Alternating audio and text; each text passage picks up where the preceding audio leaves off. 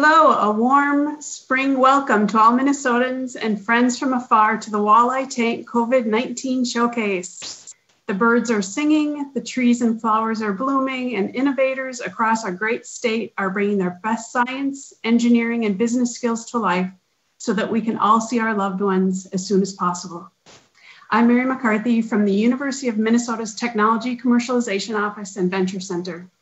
Our office is empowered by the Regents to protect and commercialize intellectual property developed anywhere in the U of M system. We market the U's intellectual property, negotiate licenses to existing companies, and help launch startups. This year, we've launched 17 so far. The planning team for this event includes Dr. Stephen Ekker and Dr. Stefan Singh from the Mayo Clinic's Office of Entrepreneurship and my rockstar colleague, Laura Johnson. Shout out to our AV wizard, David Lindeman, who is working behind the scenes to support us and the YouTube stream. As of today, according to the Minnesota Department of Health, 14,240 Minnesotans, including 1,702 healthcare workers, have tested positive for COVID 19. The innovators we're showcasing today are applying all their education, experience, and persistence to boldly conquer this virus. The Walleye Tank started five years ago as a collaboration between Mayo and the University of Minnesota, and this is the eighth event. Until today, the Walleye Tank was a startup pitch competition, but like startups do, we pivoted to meet the needs of the community.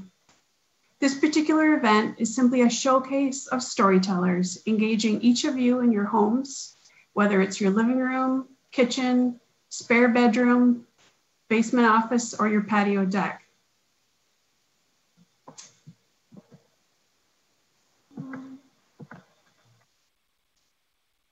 Uh, we've got a few uh, sponsors. I'm from Technology Commercialization, but Mayo Clinic has been involved, the Holmes Center for Entrepreneurship, the University of Minnesota Medical School, Medical Alley, Launch Minnesota, and the new Venture Builders. Today's lineup starts with opening comments from Dr. Jacob Tolar from the U's Medical School and our friend DEED Commissioner Steve Grove. Art Erdman from the Earl E. Bakken Medical Devices Center will talk about the birth of Coventor, and Medical Alley's Frank Jaskulke will address how they're supporting healthcare innovation across Minnesota. There's so much innovation happening to combat COVID 19 that we received 32 strong applications to present. So you'll only hear a, a, small sample of great work from across the state. Stories will be about genomics research, food distribution, testing, personal protection equipment, software, transportation, and even Minnesota's first and only prescription medication repository, which is launching in a week. The 15 startups, whether they're nonprofit or for profit, will be asking for help in some way. We invite you to help them make the biggest possible impact with their innovation. Now I'm proud to introduce our first innovator, Dr. Jacob Tolar. Uh, Dr. Tolar is Dean of the University of Minnesota's Medical School and Vice President of Clinical Affairs, co-leader of M Health Fairview, and Board Chair of Minnesota of University of Minnesota Physicians. Dean Tolar will be sharing his perspective on the COVID-19 pandemic and the need for innovation in healthcare. Dr. Tolar?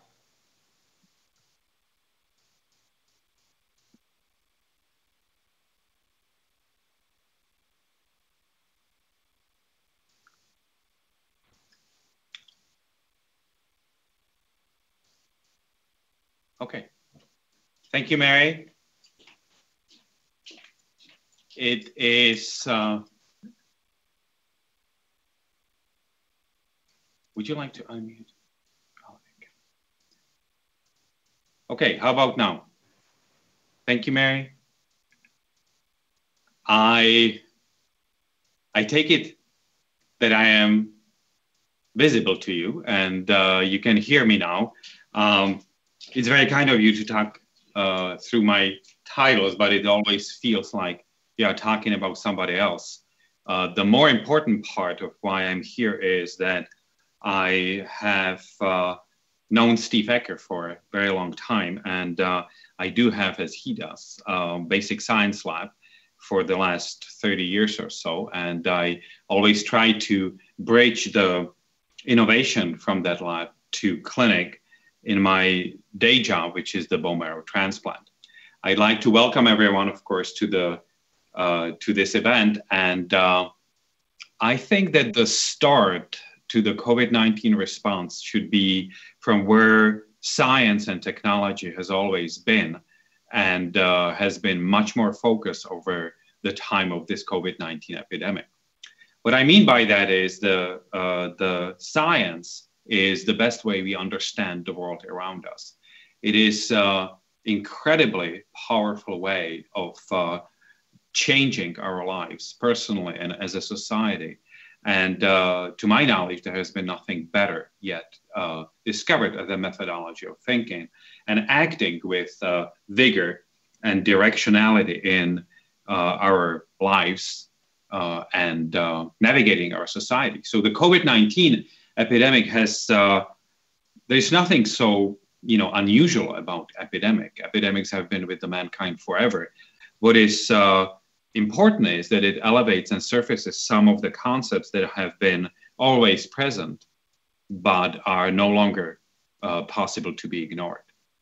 And that's where the science and technology has been uh, so gloriously positioned because of this uh, circumstance. And uh, that is how I look at this as a it's more like a Google Maps. You know where to go because obviously the virus is a minimalist and the virus is something that we as mankind are adapting to rather than guiding it, you know, where it goes. And in that way, we need some navigation because what's essential is invisible. It's a virus.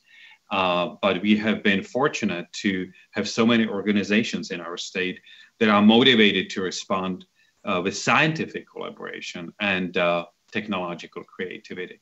So what do we have in common here is the confidence in science, confidence in technology, confidence in ability to convert a retreat to advance and uh, convert the, uh, the even energetic passivity to agency that is so important for the land grant university for the academic institutions such as such as Mayo Clinic and University of Minnesota and uh, how to channel that enormous potential energy of the research and development at these institutions and many others in the state into the kinetic energy of action and actually getting things done.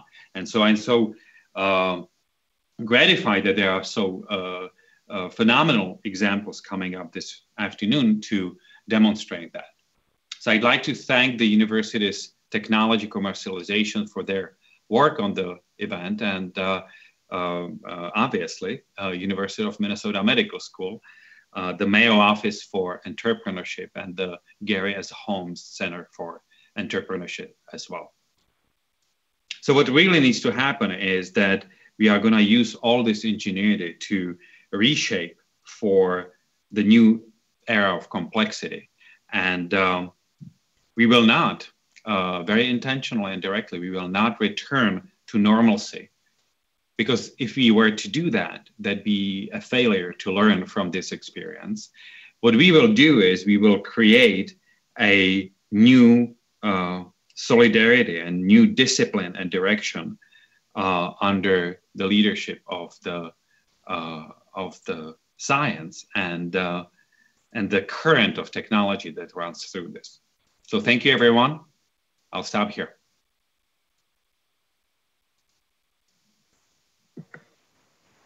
Thank you so much, Dr. Tolar. Thank you for your leadership and for supporting Walleye Tank and caring for all of us. We're also honored to have Minnesota Department of Economic of Employment and Economic Development Commissioner Steve Grove join us today. Thanks for taking a break from the uh, Capitol and TV crews, and thanks for joining us today, Steve. Thanks, Mary. Hello, everybody. Thank you, Dr. Tolar, for that uh, wonderful beginning and for all your hard work to improve the capacity of testing we have in the state to ensure that we can track this virus effectively. And thank you also to the Mayo Clinic Office for Entrepreneurship for your leadership here uh, for putting on Walleye Tank. I- will say that, you know, most conference calls I'm joining these days are about trying to uh, mitigate the virus, um, manage uh, manage the, the business shutdowns we've had to engage in and talk a lot about kind of suppression of, of the disease and of business as we try to slow the spread. So it is nice to be joining uh, an event and a group of people who are um, having a different kind of conversation about how we can use Minnesota's great entrepreneurship, its technology, its startup community to tackle this virus as well. And I think um, just want to commend the hosts of Walleye Tank for putting this event together. We are huge fans of it here at DEED. And I'm also thrilled to be joined by my colleague Neil Mollgaard, who you'll hear from a little bit later, who is the executive director of Launch Minnesota, which is our effort as state government to be a part of this whole startup ecosystem in this state and help elevate and support it through both uh, funding and, and convening and amplification of the great work that happens here in Minnesota. Um, you know, I will say it, it's obviously in our department uh, been a, a, unique and unprecedented time as it has for everyone. And, you know, most of our efforts thus far have focused early on on making sure that we have the economic supports that Minnesotans need to get through this time, both in the form of unemployment insurance for workers who are dislocated from their jobs, but also small business supports for small businesses that need loans and grants and other uh, bridge mechanisms to get through this period of time that's tough. Um, but we're also spending a lot of time trying to get the economy back up and running in the safest way possible. And as you've seen, even just the past few days and certainly over the past few weeks, uh, the governor has made uh, some thoughtful and difficult decisions to begin to re enter businesses into our economy in a safe and, and productive way um, with just a new normal being a part of how commerce happens, whether that involves social distancing, uh, health screening, um, capacity limits on, on how we engage in our economy, all these new uh, terminologies and new playbooks that we're all developing together to make sure that we can both have economic growth and also uh, keep our state safe. And I think part of what gives us and state government the confidence to, to do that and to move forward on, on growing the economy at a very difficult time is the innovators that we're joined by here today in this event. It is the fact that Minnesota has such an innovative startup culture, that we have a real problem solving mentality to the kinds of companies that we create.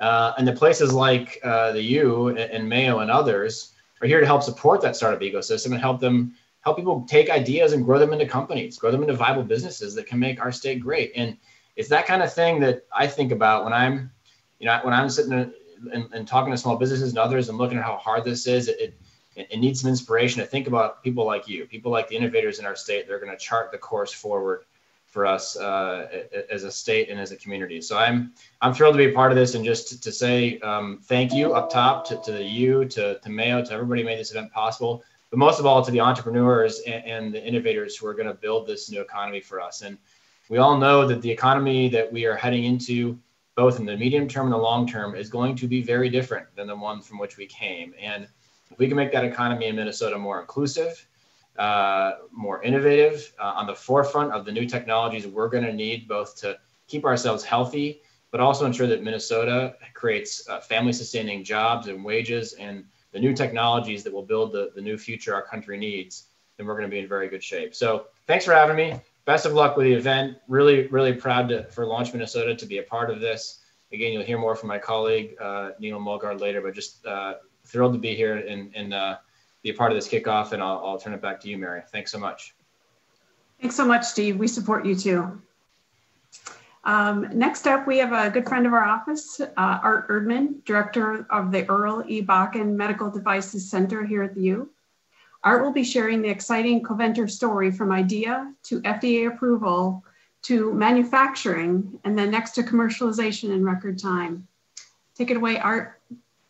Thanks very much. Uh, next slide, please.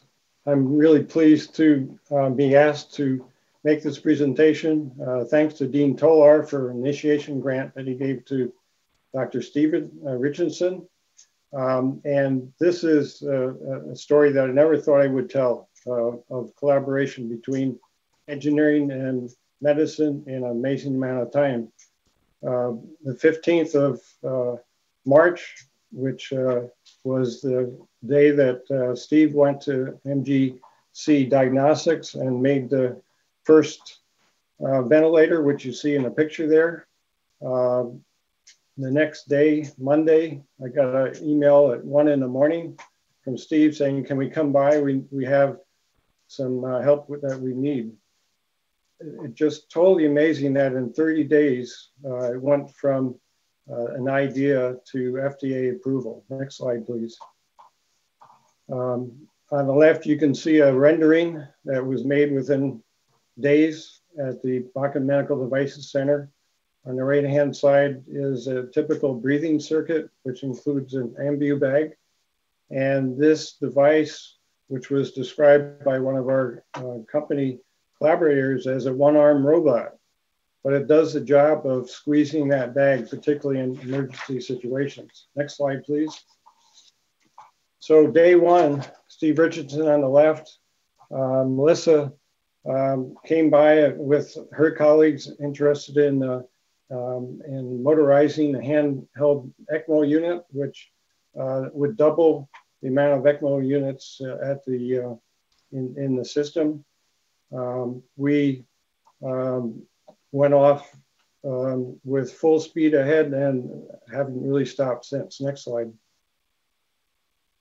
So here's Steve with the uh, ECMO unit in his hand and uh, the original uh, unit in the box that if, if you go to the Bakken Medical Devices Center website, you'll see all sorts of uh, stories that have been told on it, and this including animations. Next slide, please. So um, we, we have um, successful testing done. Uh, there were uh, four animal tests done very quickly. It's uh, pretty amazing uh, that this can be set up through the medical school. And this, I think, gave us a real heads up uh, and a leg up with the um, uh, FDA when we applied for FDA regulation. Um, next slide. So the Bakken, Bakken Medical Devices Center got turned into a um, manufacturing facility. So here's Steve taking over the our kid room, his office, and maybe he's still there. I'm not sure. Um, and the innovation fellow side, we we were collecting um, uh, components uh, uh, from 15 or, or so different vendors. Next slide. Um, so here we are um, we were able to, uh, again, thanks to Dean Tolar, we got 70 volunteers. These are former interns at the Bakken Center um, that volunteered and came in, got permission to come in. They were uh, certainly uh, phased uh, social distance apart. Um, it smelled like a machine shop for about a week later. Next day, slide, please. Um, so here's March 24th um, totally incredible. Um, these are our working units. Uh, so we built 25 units uh, starting on the 16th to the 24th. Truly amazing um, how this worked. Next slide, please.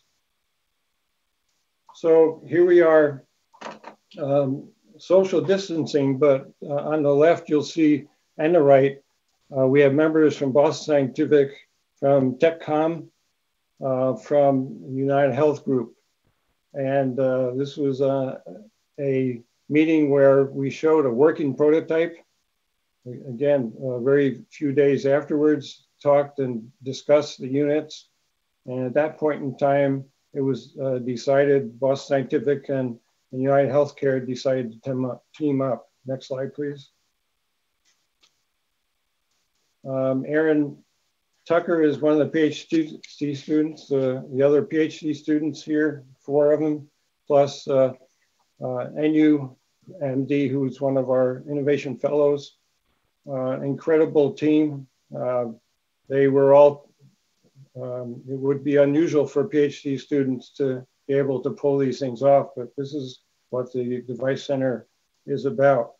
We actually had 650 people and uh, companies uh, volunteer to help us.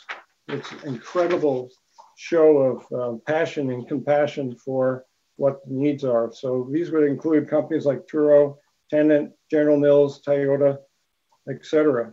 Um, and uh, they still are waiting in line and, and wanting to help us. Next slide. So Aaron was really the, the uh, project manager on this. Um, you can see on the right-hand side version, so we, we're already at version 3.2, which is the one that we turned over to Boston Scientific Uh, next slide, please.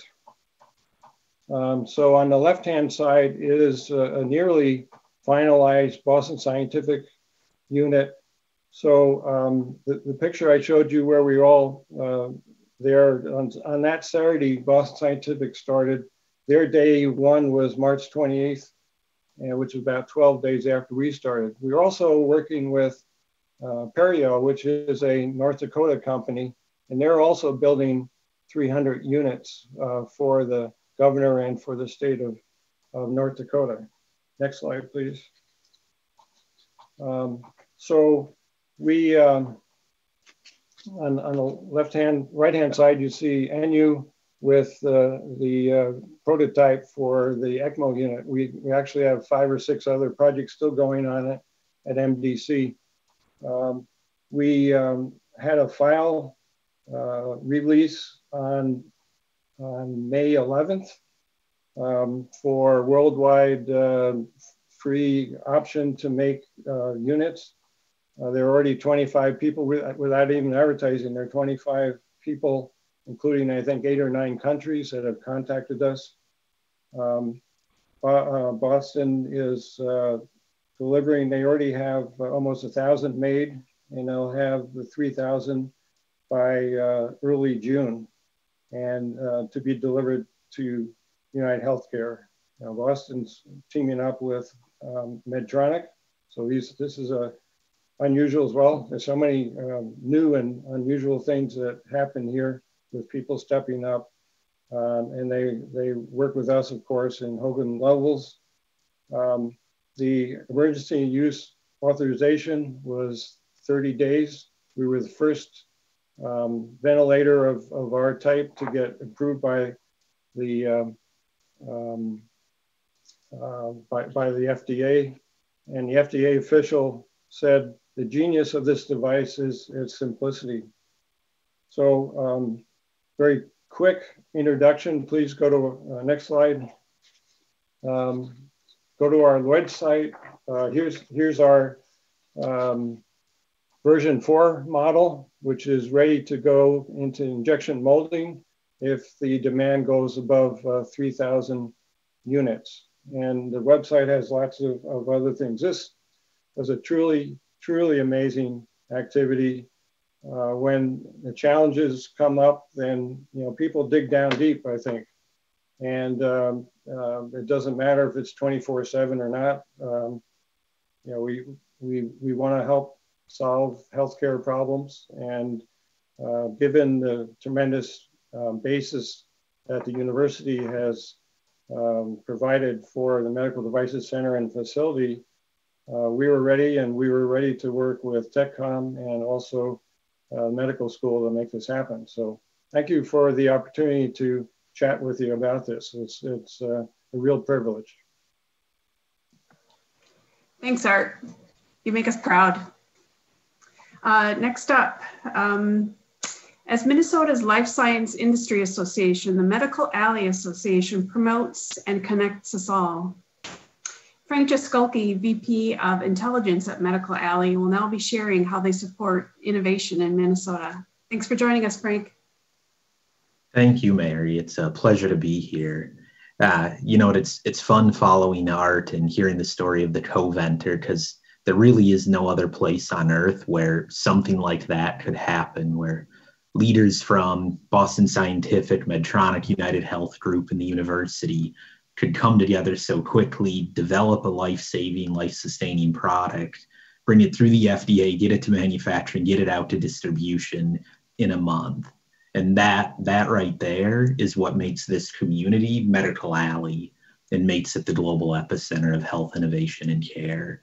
Uh, as Mary said, my name's Frank Jaskulke, and I'm with the Medical Alley Association, and I'm honored to be here with you today for this very special edition of Walleye Tank as we all know, the COVID 19 crisis has disrupted every facet of our lives. But what I feel great about is that so many of you have responded with compassion, a helping hand, and innovation. The difference in this crisis is all of you and the work that you're doing to bring solutions. Uh, Medical Alley is very proud to support this event and to support the startup community More than 50% of our members in digital health, devices, and drugs are startup companies and we work every day with them to help them connect to resources, to investors, to talent, to suppliers, to partners, to information they need to advance their life saving and life sustaining product. Our policy agenda works to promote innovation in this community by supporting things like the Angel Investor Tax Credit or supporting the establishment of Launch Minnesota, one of our great partner organizations as well as to make sure that we have a strong research enterprise creating new knowledge and creating new technology like that at the University of Minnesota and Mayo Clinic. In the last five years, more than $3 billion has been raised by startup companies in this community to advance health innovation. And researchers like those at the University of Minnesota and Mayo Clinic have brought in billions of more dollars for critical research to solve medicine's hardest problems. If you're working on a startup or if you have a growing company or you're part of one of the global giants in Medical Alley and you need help, please do not hesitate to reach out to me or to anyone else at the Medical Alley Association. We will do everything in our power to help you find that right connection, the piece of information, the resource that you need so that your work can be more productive and you can bring more life saving and life sustaining products to market. I'm honored to work with you every day. And thank you so much for spending your Friday afternoon with us. Back to you, Mary. Thanks, Frank. Uh, now a few fish housekeeping rules.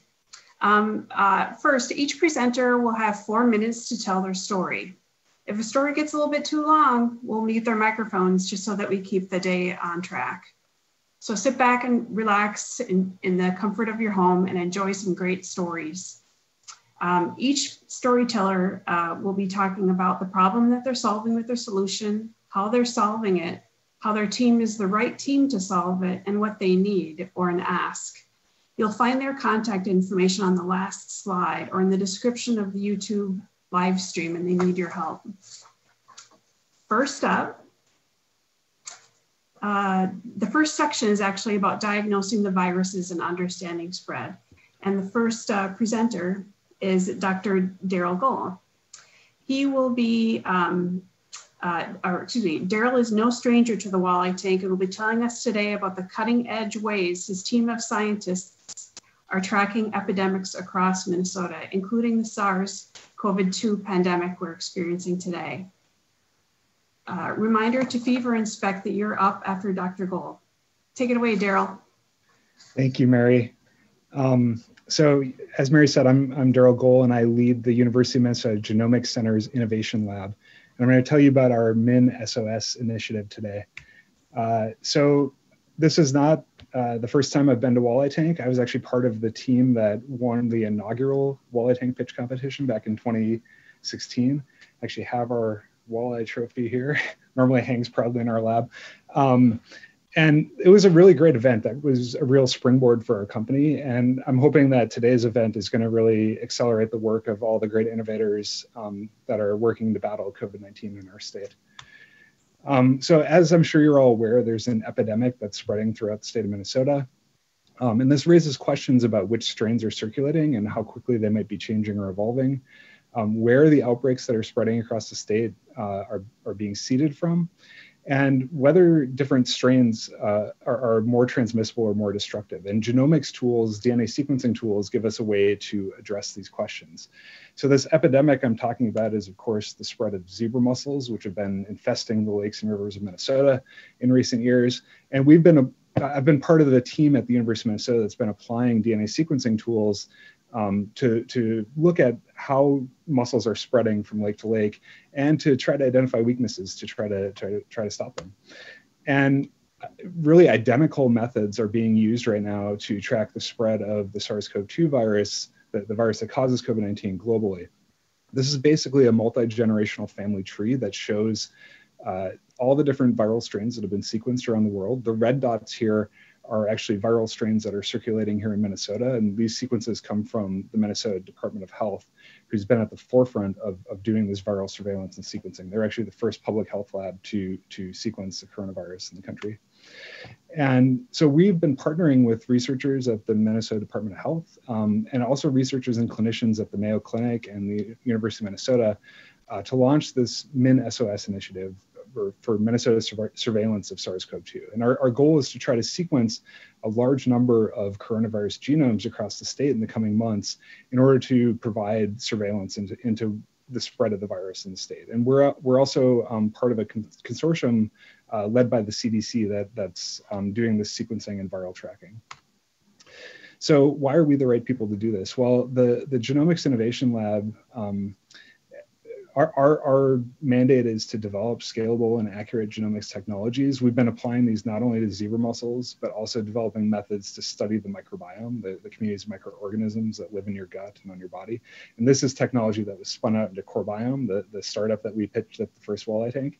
Um, we've also been applying these tools to study, together with researchers at the University of Minnesota, to study infectious diseases like HIV and tuberculosis and others. And so any good pitch should have a hockey stick. Um, this is our hockey stick. Uh, so because of this deep expertise in genomics um, and, and molecular biology, our team was part of the team that, that um, spun up COVID-19 diagnostic testing here at the University of Minnesota. And this was together with uh, clinicians at, at, the Molecular Diagnostics Lab at Fairview.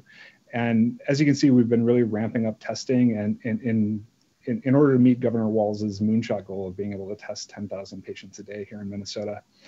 And as we've been doing this testing, we've also been beginning to sequence uh, some of these strains in order to look at the, look at the actual uh, genome of the virus.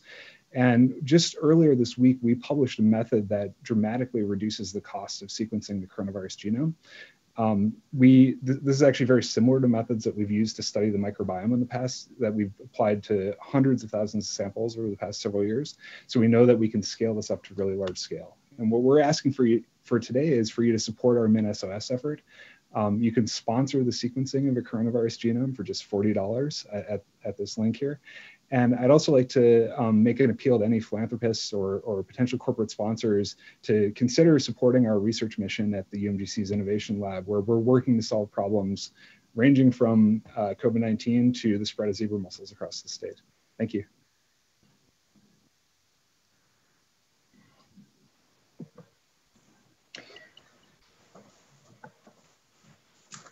Thanks, Daryl. That was amazing. Uh, next, we'll turn to Fever Inspect, presented by Dr. Beal, who was looking to turn up the temperature on remote fever detection devices. Their specialized products provide highly accurate measurements, and I expect that we'll be seeing them in operation everywhere soon. Reminder to Flow Field Imaging Laboratory that you're up next. Take it away, Dr. Beal. Thank you, Mary. Good afternoon, everyone. I'm Eric Bell with Thermal DX, presenting Fever Inspect, a tool to keep us safe as we return to work. How do I, oh, Okay, so the problem as we return to work is that there's a risk of a second peak of COVID-19. Fast identification is essential to prevent shutdown of critical industries, but frequent deep nasal swab testing is expensive and impractical. And unfortunately, we've now seen what can happen with the pork plants that have been shutting down across the country and many other uh, plants. And ultimately, safety and morale are, are compromised without screening.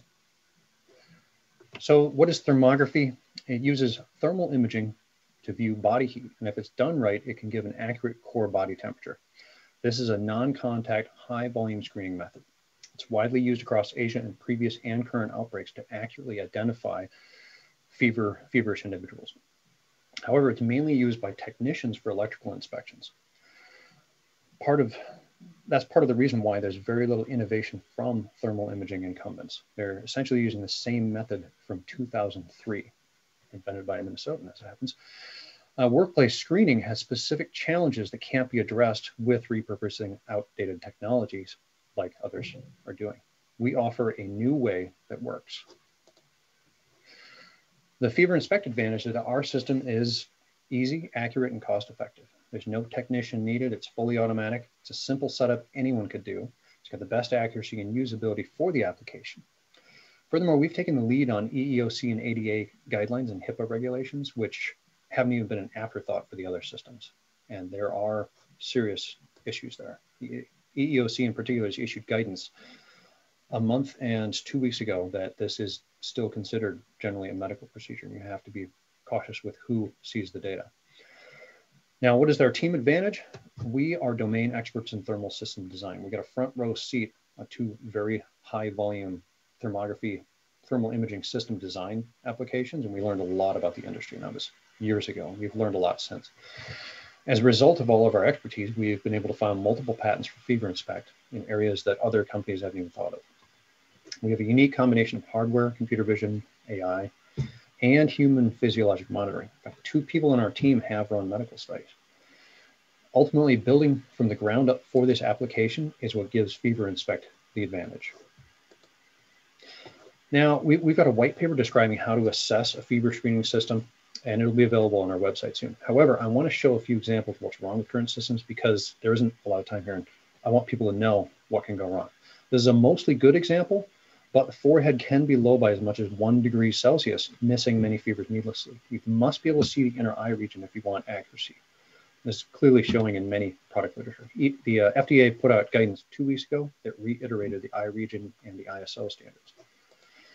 That's not the worst though. There are some that don't even use a temperature reference and without it, you can't get better than two degrees Celsius, which is 3.6 degrees Fahrenheit. You're just flipping a coin at that point. I can't believe people are selling these, but they are. Uh, also, there are ones with impossibly low resolution, and it's not magic. It's averaging different pixels together, and these are off by as much as 10 degrees. And if you look there, it says 37.5 degrees Celsius, which is impossible. There's some trickery going on here. Uh, finally, if you use a manual screener, it's essentially like having a TSA process implemented in your, in your facility. And that is very difficult to keep going and it takes a lot of time to run. Uh, here's a product from one of the thermal camera manufacturers. You can time how long it takes this guy to screen and so on. And it's, it's not pretty, very difficult to scale that up. The market potential right now is very high. It's uh, practically unlimited. It's limited only by the supply and we value priced it at $5,000 per unit, which is half to a third the cost of what's being offered now. As the US reopens, more and more places will screen, and we think federal screening policies are, are coming. Our current status is that we have a large local food processor purchasing over 100 units. Uh, we're just a few weeks out from our first manufacturing run. Ultimately, we are looking for connections to potential customers and distributors. We're also looking for connections to hospital systems. Our goal is to make this the first medical grade fever scanner. And you'll see medical grade this, that, but we mean actual medical grade, where it really is accurate and vetted by the FDA and independent testing labs. Thank you, and please visit our site at www.feverinspect.com.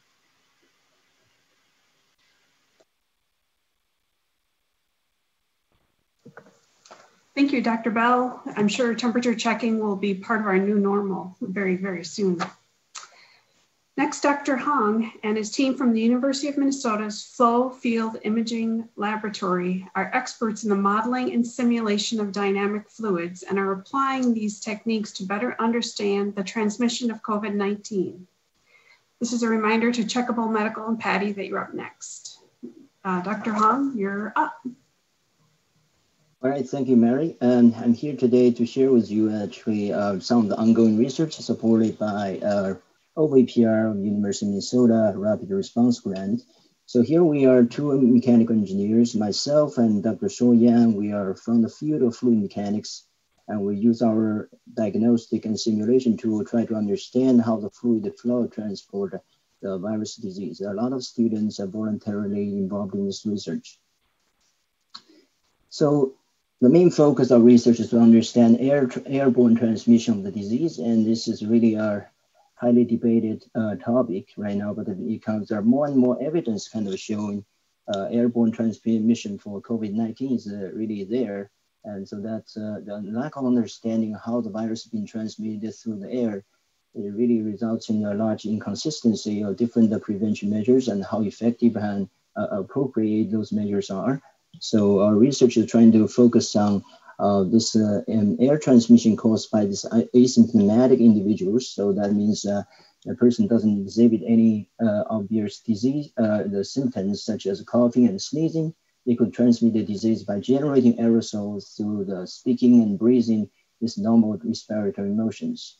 So Our goal is to combining the simulation and uh, our experimental tool to develop, eventually develop a systematic framework and to provide estimate of the transmissions. So first we uh, conduct uh, experiments and high diagnostic of aerosol generations that includes air flows, concentration or size distribution of aerosols, including the chemical contents indicated by the optical properties of aerosols to evaluate uh, how the aerosol generation changes uh, according to different uh, respiratory motions, such as uh, breathing and speaking and singing and even playing music instruments, and how these motions are being, uh, mm, uh, being controlled by wearing masks and no masks. We're going to look at the population with different age and gender. So this information will serve as input to the numerical simulations and where the Dr. Suo Yang's group will be in charge and they will, come, you'll use this uh, input to simulate uh, information to simulate uh, aerosol residence time and how long the aerosol stay in the air and what is spatial and temporal variation aerosols in different uh, practical settings that includes classroom, restaurant, supermarket, and public trails and other you know, settings that is tuned for specific industry and uh, public applications.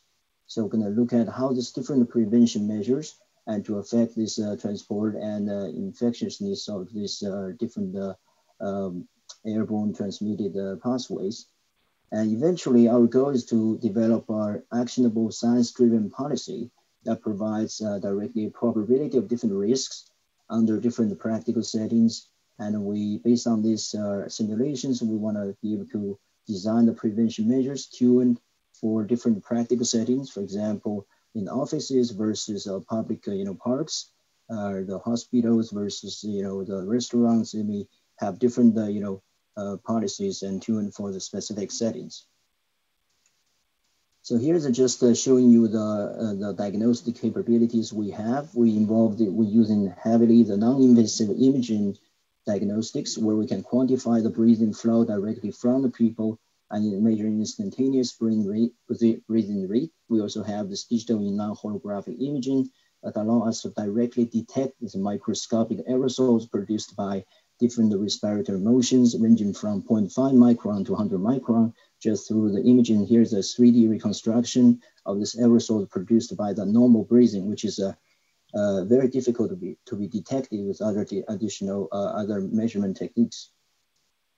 So using this technique, uh, we're gonna uh, use this as uh, input for our simulations. And so uh, my colleague, Dr. Suo Yang, is an expert of simulating spray generation in the engines. So now he's using his expertise trying to simulate how this aerosol is produced by the humans and being propagated in different uh, practical settings. You can think about a classroom, a person standing and giving lectures and it's producing aerosols and there's different students sitting uh, different spacings and when the 30 classroom seconds last, left, Dr. Hong. Okay, so we go to the last slide. And so the mainly uh, goal of this is to combine this uh, uh, diagnostic and simulation to provide scientific driven prevention policies. And so what do we need right now? We need the collaboration of people from the field of virology and policies related to the virus transmissions. We'd like to have some funding support to continue our research and expand it this to a larger scales. We would like to have computational resources allow us to simulate under different scenarios. And if you're interested, uh, feel free to get in touch with me. Here's my email.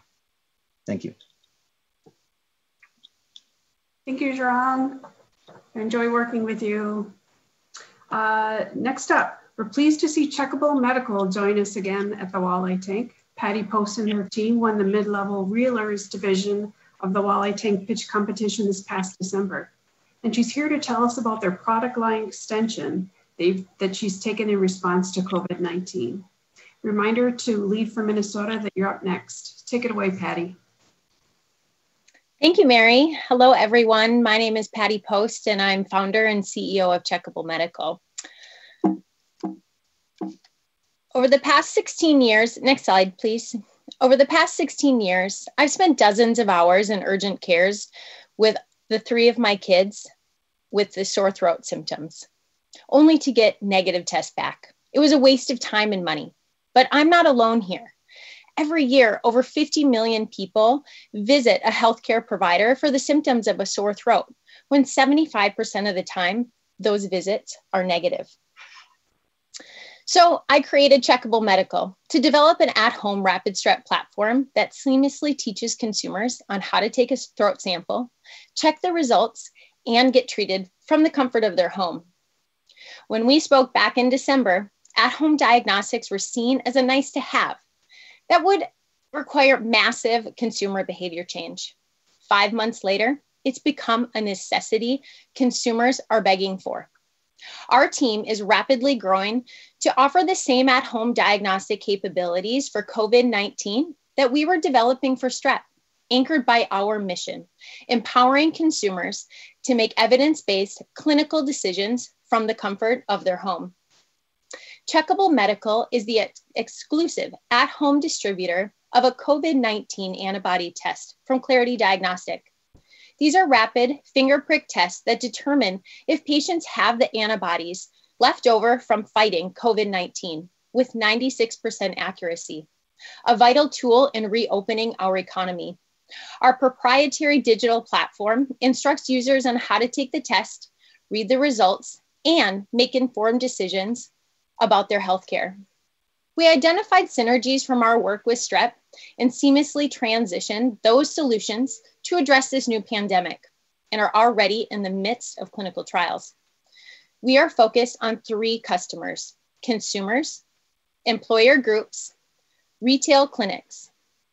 While all unique, these three customer segments have one common objective enable accurate, convenient, and reliable testing. Next slide, please. Thank you.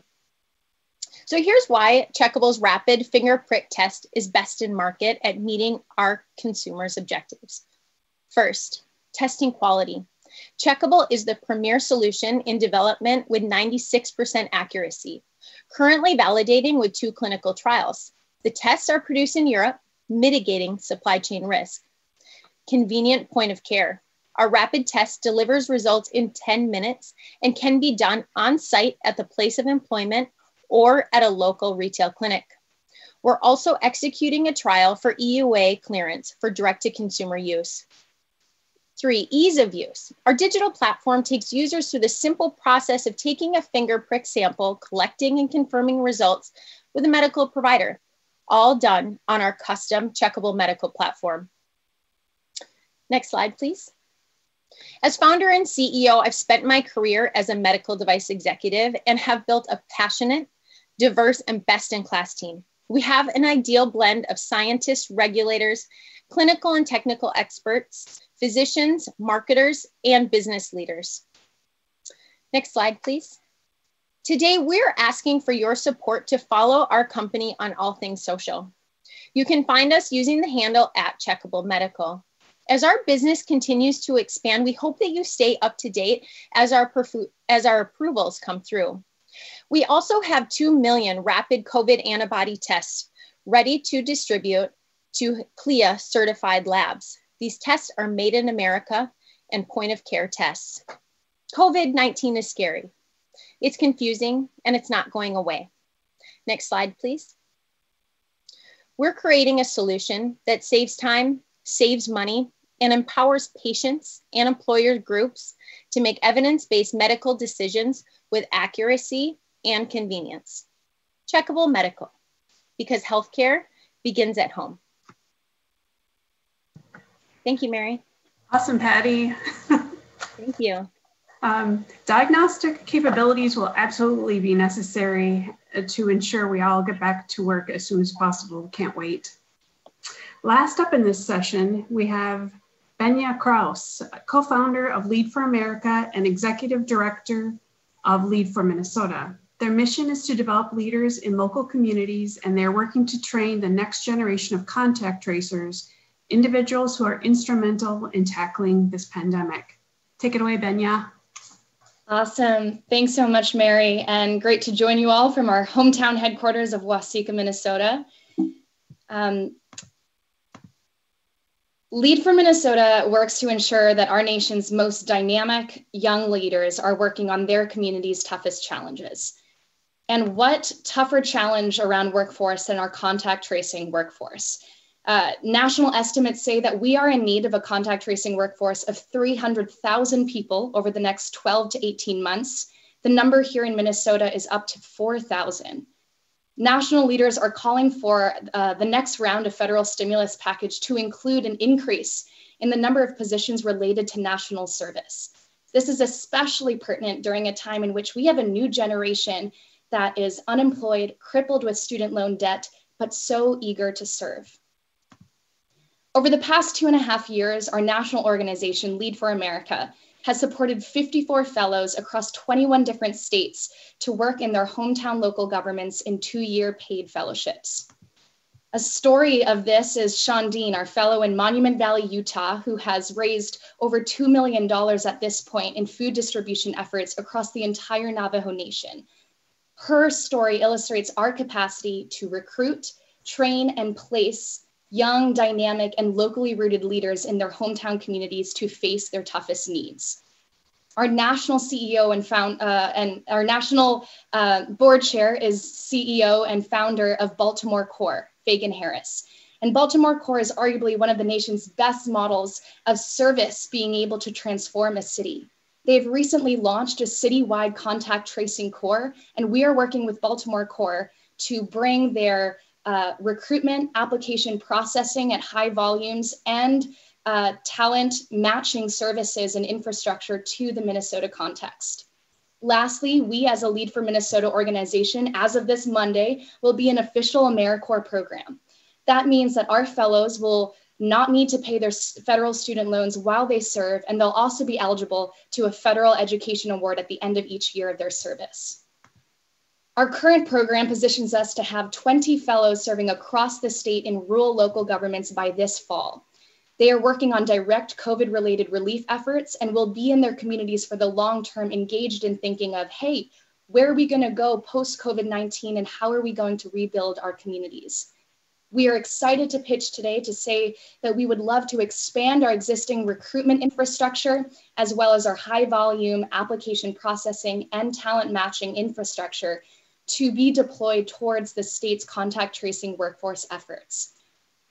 In line with our mission and our values, we look to recruit people who are unemployed and furloughed Minnesota workers, Indigenous communities, people of color, and young people to, to be at the forefronts of serving their own local neighborhoods.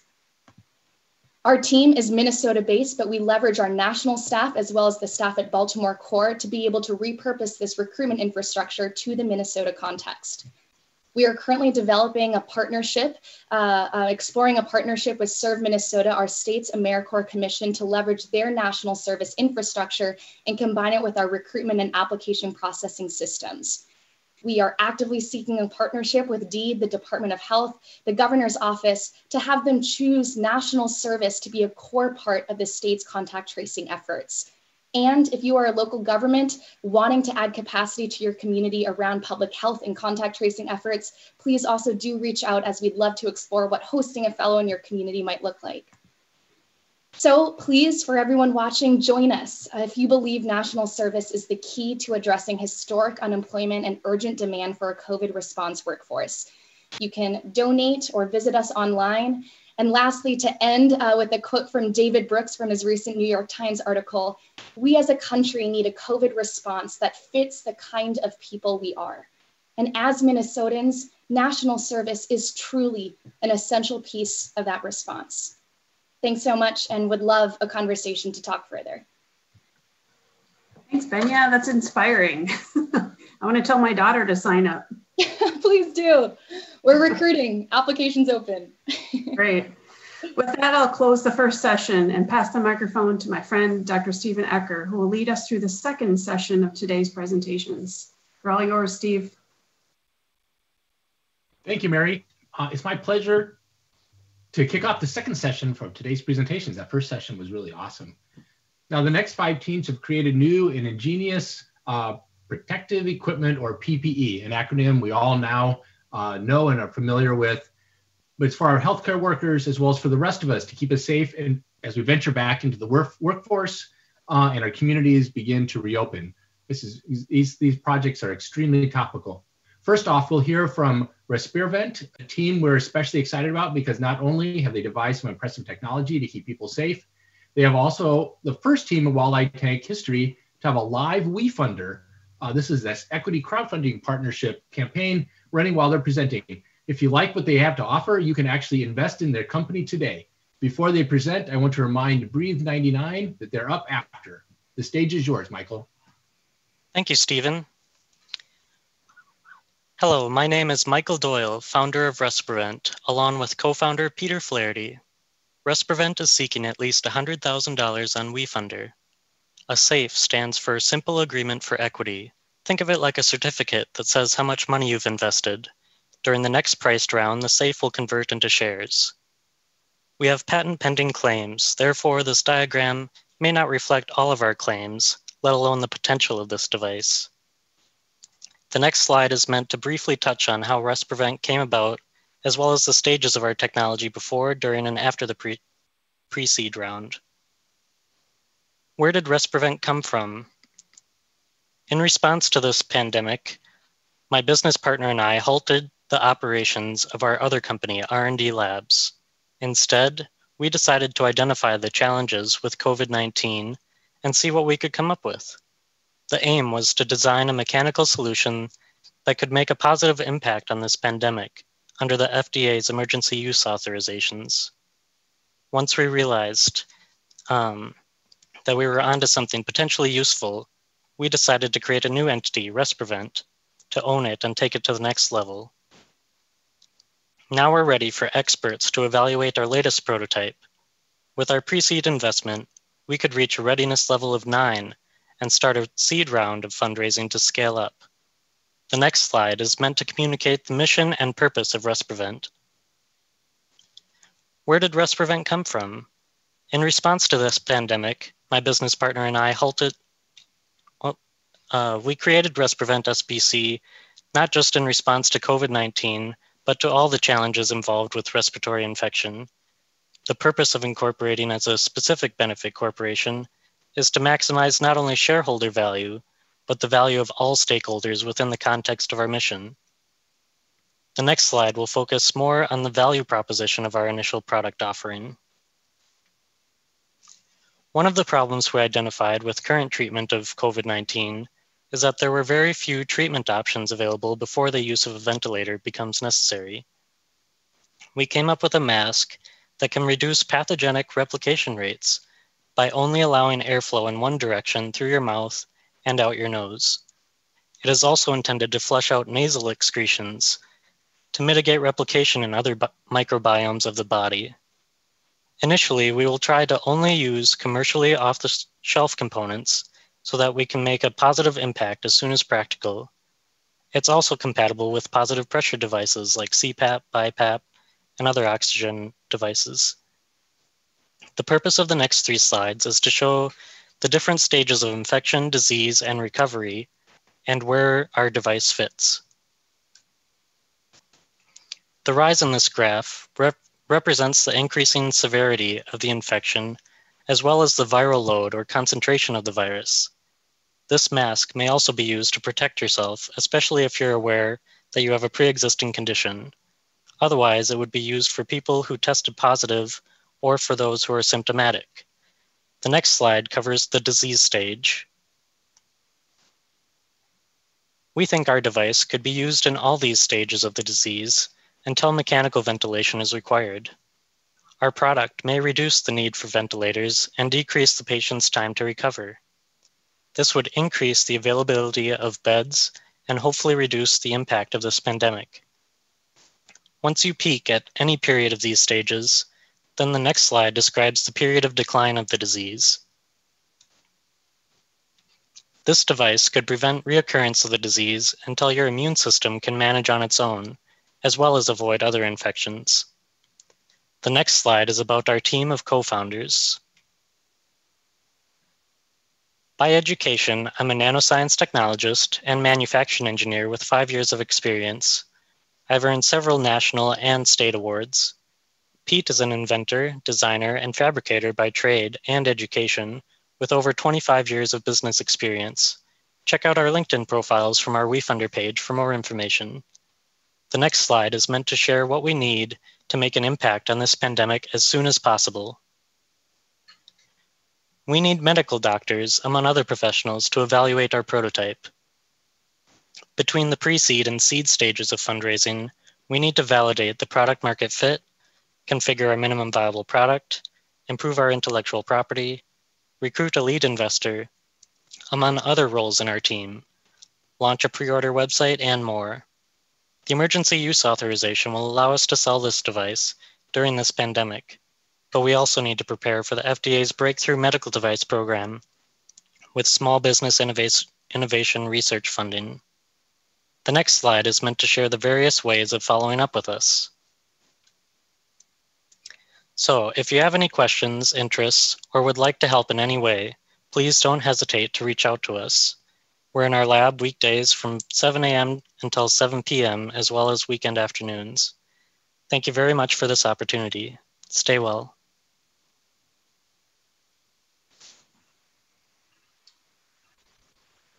Great work, ResPrevent.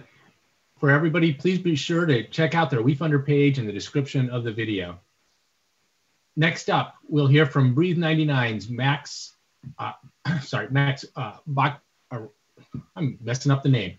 Max uh, Ronson, who, believe it or not, have been making high performance masks for health and wellness long before most of us ever heard of a coronavirus. Team Scone, take note that you're up next. Max, tell us all about Breathe 99. Great. Thank you for the introduction. Uh, as he mentioned, my name is Max Bach Aronson, and I'm the co founder and CEO of Breathe 99. And we're a Minneapolis based public benefit corporation that was uh, founded in 2018. And uh, this is something that I've been working on for several years and was, I developed my passion surrounding this topic after a study abroad experience that I had in Singapore. Uh, next slide, please. So uh, obviously, COVID, uh, the pandemic has had really sort of far-reaching effects throughout our society, but our team is most interested in in this idea that every person deserves access to high quality public health goods. And we believe that by having wider access to these types of uh, resources and tools, that we would be able to slow the spread of the pandemic and then also advance other public health objectives as they pertain to air pollution. Um, we've been working on this for several years, and our specific focus is addressing the supply chain issues that impede broad access to PPE. Uh, we've had we've experienced some good early success both on crowdfunding and with raising money through the philanthropic communities and specifically Venn Foundation. We're also very uh, fortunate and honored to have been the recipients of the Protolabs Cool Idea Award. So very uh, excited about that partnership. Uh, so what we're working on right now is B2 Mask.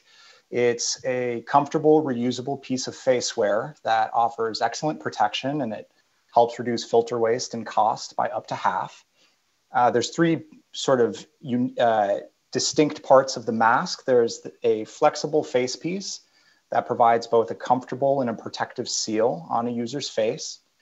Uh, that face piece is then loaded with high efficiency electrostatically charged disposable filters that help remo- remove harmful contaminants from the air you breathe. And then all of that is uh, wrapped in a breathable fabric overlay, which provides users with a range of customization options and also is what harnesses the face piece to a user's face and, and creates that protective seal. We're already in production actually, and uh, we'll be shipping this summer. And we're really excited as part of our public benefit mission to be donating uh, many masks in our first production run, around 25%. So that's very exciting for us. Uh, there are several aspects of the mask that we feel uh, provide ben clear benefits to, to users over competitive options. And, and these benefits were, were uh, we arrived at these after several years of a human-centered design process that's built upon feedback that we gained in China, in Korea, and then also here in the US in, in trying uh, in providing prototypes to people and getting their feedback. So again, there, it provides a comfortable airtight seal, which is something that we've all heard a lot about uh, as it pertains to cloth masks and even surgical masks as well. Um, and then really the big thing in the context of the, the pandemic is that the whole system is built upon an affordable and scalable filter model that provides prote- the high level of protection that people need, but uh, it is not cost prohibitive. And so that's one of the big advantages as we think about how this technology can, can affect all types of people, uh, both in healthcare settings and in the general public as well. I'm very honored to uh, be speaking on behalf of a really talented and passionate team. Uh, we have, you know, over a decade of experience bringing medical, uh, doing medical device development and sales, and uh, we we just we're coming together again on this mission of making high quality public health products more widely available. So we're we're all really excited to be working together on this, uh, and it, like I said, um, we believe that together we'll be able to have a lasting impact on public health objectives. Um, in terms of what we're looking for, and we are hoping to build relationships with pilot partners who want to receive B2 mask and, and will sort of feed this uh, really important feedback loop about usability and how, the, how a reusable mask can fit into existing workflows. We're hoping to connect with impact investors who are interested in propelling scalable benef- uh, public benefit corporations, and then also mentors who are who have deep experience in healthcare supply chains, and also as recently identified uh, people who have experience in impact reporting and also nonprofit uh, management as well. 10 seconds left, Matt. Great. Uh, and so thank, thank you everybody for your time. We really appreciate it and we hope to hear from you. Thank you, Max. We'll need some of those uh, nice masks for our lab, I'm sure. Uh, Dr. Michael Wallace is a gastroenterologist at Mayo Clinic, Florida, who, along with his team, have innovated in the clinic out of necessity to protect his clinical colleagues during procedures that put them at an increased risk of exposure. Team Scone have developed an easy to use technology to reduce COVID 19 exposure risk for clinicians performing life saving procedures such as intubations. Reminder uh, to In Control Technologies that they're up next. Go ahead, Dr. Wallace. Good. Thank you all very much. It's a pleasure to be here and an honor pre to present uh, at this symposium. Uh, please advance to the next slide, please. As you all are well aware, the problem of controlling COVID 19 transmission to healthcare workers centers around the control of aerosolized droplets of live particles. When patients sneeze or cough or even breathe, a large cloud of active viral particles is transmitted through the air in small droplets. These can extend up to three to six feet uh, and possibly even further onto uh, surfaces. Next slide, please. The current methods for controlling the aerosol uh, transmission are either to wrap the healthcare worker in personal protective equipment. You've all seen these images of emergency department physicians, nurses, and technologists wrapped in single use disposable paper supplies. Each of these is typically thrown away after one exposure. There's, these are wasteful and unlimited supply, as we're all well aware. The second, much more expensive option is to put the patient in a negative pressure room. The air is suctioned out and sent through HEPA uh, filtration to remove the virus particles. These are uh, very rarely available, typically only one or two in large hospitals, and many hospitals do not have uh, any of these. Our mission is to develop a low cost system to contain aerosolized infectious droplets around the infected patients while minimizing the waste of personal protective equipment. Our uh, team developed the so-called self-contained negative environment pressure box or SCONE box. It was built on a simple barrier concept that has previously been developed called the intubation box. This provides a physical barrier uh, while in use during the most high-risk procedures, intubation of the patient or performing surgery or upper endoscopy. We've modified this box using low cost design systems and added negative pressure uh, systems and HEPA filtration that mimic the negative pressure room at a fraction of the cost. The device is mobile, reusable, and cleanable. We've tested the device. We know that it works well using a simulated cough. We can generate using a, a standardized puffer system to generate up to 30 to 35,000 virus-sized particles at 0.3 microns. This is the same size as the coronavirus particles. These particles are rapidly cleared within three to four minutes from the box down to ambient levels. We also know in preliminary testing that it's safe. This is a patient inside the box monitoring oxygen saturation and carbon dioxide retention, both of which show normal levels of oxygen and normal levels of carbon dioxide retention.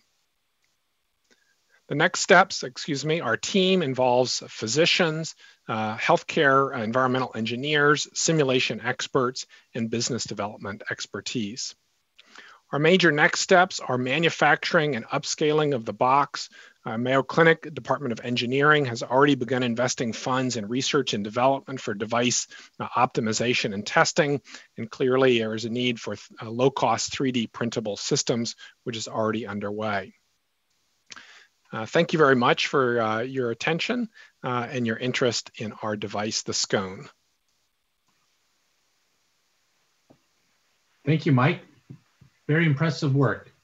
Can't wait to see more.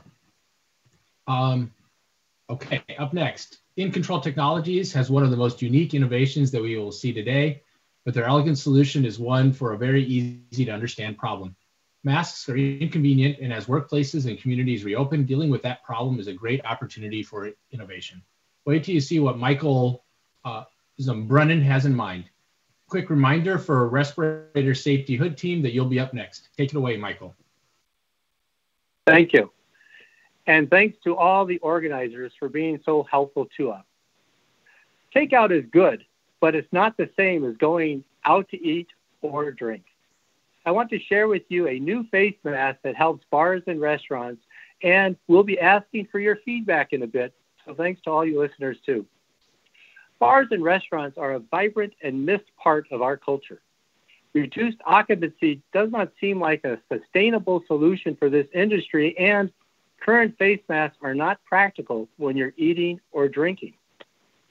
The Recover face mask helps bring us back together at bars and restaurants in a safer and practical way. On the left, you see recover in the closed position. The middle picture shows it transitioning to the open position, which is shown on the right. After taking a bite or a sip, the process is reversed. You can see that recover is worn like a regular mask. One difference, though, is its straps are attached to a chin piece instead of the mask. Now the mask is free to transition between uncovering and recovering the mouth. The transition can be done manually with one finger or automatically with a small motor and proximity sensor. For quick availability, the manual version would be first and the automated would follow. For easy compatibility, we designed Recover to work with homemade and commercially available masks. For consumers, really, no mask is preferred. But if masks are recommended, then Recover is more, re- more comfortable than taking off and on today's face mask while eating and drinking. Secondly, Recover Mask is meant to help consumers feel more confident returning to bars and restaurants. And it's cheap and easy to use. On the chart's right side, for bars and restaurants, Recover is a year round, weather independent option. It could be used in combination with other ways to combat COVID 19, like social distancing, and potentially could lead to higher occupancy allowances. Here is a high level rollout for Recover. All of these tasks shown can be done with Minnesota companies. If you focus on the orange distribution section, our preference is the option to offer Recover direct to bars and restaurants and to do it at cost. We expect 40K is needed to bring the manual version to market and an additional 120K for the automated version. But first, we are asking for your feedback. Please go to at Recover Mask on Twitter and click on the Recover Survey link to go to a three question survey. We're not asking for emails, cell numbers, because it's all anonymous. We would really appreciate your feedback. The team is myself, Laura, and our daughter Alice, who is a graduate of the Carlson School of Management and a fourth generation U of M grad. We were fortunate to have Alice shelter at home with us for a bit and to have a lab and 3D printers in our home. Recover became our weekend and evening stay at home activity. Laura and I have worked together the past six years developing a self managed IoT device that saves hair for those undergoing chemotherapy and has recently and successfully completed its clinical trials. For bringing it to market, we formed In Control Health. We are very grateful to have received an innovation grant from Launch Minnesota to help us with this effort. This device and recover align with our mission to create simple healthcare solutions that inspire confidence in self-managed devices, and improve the quality of life by building products that are accessible to all. So if you haven't already done so, we'd appreciate your feedback by clicking on the Recover Survey link at Recover Mask on Twitter.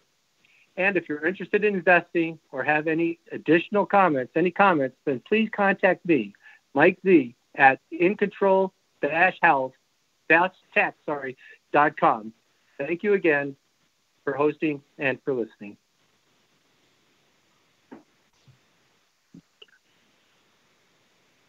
That's great, Mike. I expect to see these in every restaurant in no time. The last four minute presentation we'll see in the session comes from the University of Minnesota's Respiratory Safety Hood team, led by Chris Hogan, who have developed a portable safety hood that can be deployed in a patient's bed to protect healthcare workers from exposure. Tell us more about this project, Chris. Uh, thank you uh, very much, everyone, for the opportunity to speak. Um, I'm Chris Hogan. I'm a professor of mechanical engineering at the University of Minnesota, and I'm representing a rather uh, large team who's been working on um, a way to better protect healthcare workers. Um, so, as a couple presentations ago was mentioned, um, uh, the main form of protection for healthcare providers uh, dealing with patients with infectious respiratory diseases is personal protective equipment, or PPE. Um, and PPE, um, you need multiple types of it face shield, mask, gown, gloves, among others. And even still, in this case, with more than 10% of the reported infections of COVID 19 being healthcare providers, we know that this isn't fully effective. So the CDC gives us some guidance on what we can do to improve healthcare worker protection. And it isn't all just PPE. If we look above their hierarchy of controls, what we find are engineering controls, isolate people from the hazard. Now, while quite often this can mean negative pressure rooms, we can localize and actually create a more localized negative pressure to work with people. Uh, and that's precisely what we've done. Uh, the respirator hood um, is a, a, a, portable device that, that fits over a patient. Uh, their upper head, uh, their head and torso fit comfortably uh, within the device. Uh, iris ports provide a form of resistance to flow while at the same time providing multiple providers with, with access. Uh, at the top, what you'll see here is a high efficiency particulate air filter, which is important for several reasons. One, it has a very, very large surface area, and this allows us to use very, very strong pumps. Uh, the lifetime of an aerosol generated by the patient inside the respiratory hood is less than seconds. It's cleared almost immediately, and we can talk about making it very, very high efficient in this case. Um, we've gone from an initial prototype. Uh, you can see with the flow off that you would get smoke penetration through the hood, and with flow on, you get very little penetration, uh, to the modified form, which is under construction right now, which provides full visibility to multiple healthcare providers and puts the filter off to the, the side in this case. Device works extremely well, to be honest. My laboratory specializes in aerosol science. We have specialized equipment to measure particle concentrations down as small as 10 nanometers and certainly within the size range of viruses or larger. Uh, what I'm plotting here is called the penetration um, of particles. If you see 10 to the minus one, that would mean one out of every 10 particles get through. One out of every 10,000 particles at most penetrates through our device in the virus side. And this is comparing to the side in front of the patient as well as in the rear where, where, the, where the physician would be. Um, the bench tests uh, have been carried out. We've submitted this paper for peer review, and we're comfortable saying it is 99.99% efficient in terms of reducing exposure to healthcare providers. And this is even before considering the PPE that they would wear. Our team um, is an interdisciplinary team composed of anesthesiologists, uh, residents in pediatrics, as well as anesthesiology, uh, myself, uh, postdoctoral associates in mechanical engineering, as well as staff scientists with a combined experience of more than 50 years in aerosol science. Uh, what are we looking for uh, to move forward? Uh, the device has been tested, mock procedures have been formed, uh, performed with both generation one and generation two, and now we're looking to, the, to, tailor these devices for specific procedures. And we would like to get this into the hands of people who want and need to use this device. So if you're a healthcare worker interested in using the device, please feel free to reach out to me. Uh, we do need continued financial support to make these prototypes in our machine shop in the College of Science and Engineering. And then finally, we're looking for experts in the medical device industry interested in bringing this technology to market. Again, thank you very much for the opportunity. Thank you, Chris. That sounds like it has the potential to protect many of our healthcare workers. That's really great. Um, finally, um, it's my genuine pleasure to welcome our second keynote speaker today, my friend and colleague, Dr. Mike Joyner. Not only is Dr. Joyner the fourth and last Michael to present in this session, he is also the leader of the convalescent plasma program at the Mayo Clinic, which is showing tremendous success as a potential therapy for COVID-19. Dr. Joyner and his team led a nationwide, lead a nationwide initiative, including over 40 institutions as they document, monitor, and continue to research the effectiveness of this therapy. It is a great opportunity to hear from him today. So thank you for spending your time with us. We can't wait to hear how things are going, uh, Dr. Joyner. Thanks a lot, Steve. Uh, to, can I control these uh, slides or do you control them? You can control, control them if you want. Great. All right, we'll just get started. Uh, do I share my screen or what do I do, you guys? Let's go next slide, please. So what we're trying to do is use convalescent plasma to treat COVID-19. What this means, if you look at the far left on your computer screen, there's a COVID-19 patient. That patient recovers and has antibody-rich plasma. Blood is drawn. The plasma is separated from the red cells. Virus neutralizing antibodies are in the plasma or serum and they're used for one of two purposes for prophylaxis in somebody who's been exposed to COVID 19 or is at high risk for exposure, or to actually treat patients. Next slide.